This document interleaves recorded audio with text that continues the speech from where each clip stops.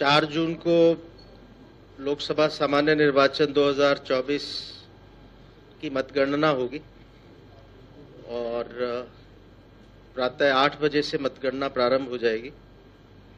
उत्तर प्रदेश में पचहत्तर जनपदों में कुल इक्यासी मतगणना केंद्र हैं जहाँ ये मतगणना संपन्न होगी।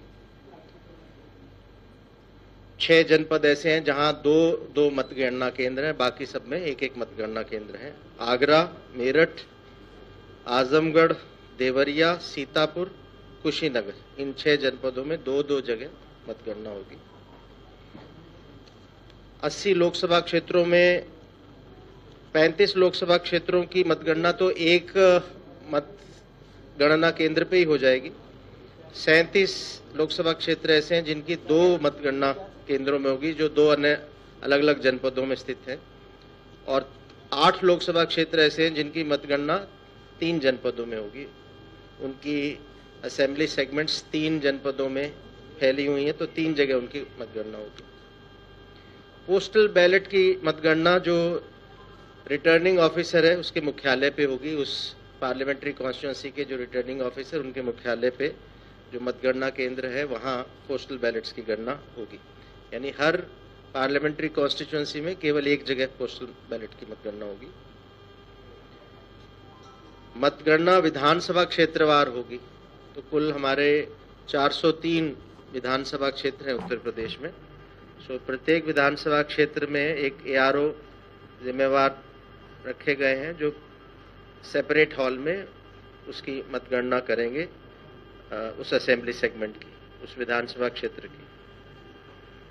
और उसके बाद एक लोकसभा में पाँच या छह विधानसभा क्षेत्र शामिल हैं।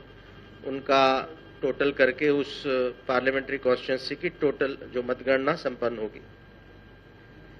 उत्तर प्रदेश में 12 गाजियाबाद लोकसभा क्षेत्र में एक विधानसभा है पचपन साहिबाबाद, जिसमें पोलिंग स्टेशंस 1127 हैं, सबसे ज़्यादा पोलिंग स्टेशन हैं। और इसकी अधिकता होने के कारण यहाँ दो हॉल्स में गणना होगी, एक हॉल में 14 और दूसरे में 14 कुल 28 टेबल्स पे पैरेलल ईवीएम्स की गणना होगी। और इतना 28 टेबल लगाने के बाद भी कुल 41 राउंड्स में जाके इसकी मतगणना संपन्न होगी। मतगणना पे सतत दृष्टि रखने के लिए भारत निर्वाचन आयोग ने सामान्य प्रेक्षकों के अलावा भी अतिरिक्त प्रेक्षक नियुक्त किए हैं। वैसे हमारे यहाँ 80 लोकसभा क्षेत्र हैं तो 80 सामान्य प्रेक्षक हैं। लेकिन ये निर्णय लिया गया कि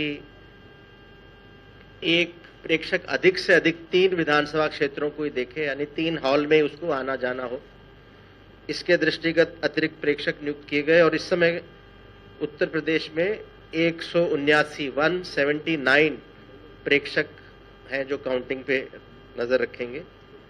पंद्रह प्रेक्षकों को एक एक विधानसभा क्षेत्र दिया गया है। 104 प्रेक्षकों को दो दो विधानसभा क्षेत्र आवंटित है और 60 प्रेक्षक ऐसे हैं जिनको तीन तीन विधानसभा क्षेत्र आवंटित किए गए हैं।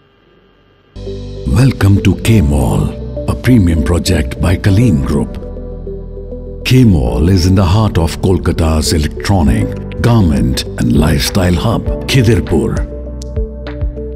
K-Mall, which is designed as a world-class mall, is the outcome of endless effort of our experts, combined with modern superb techniques and new age design. Book now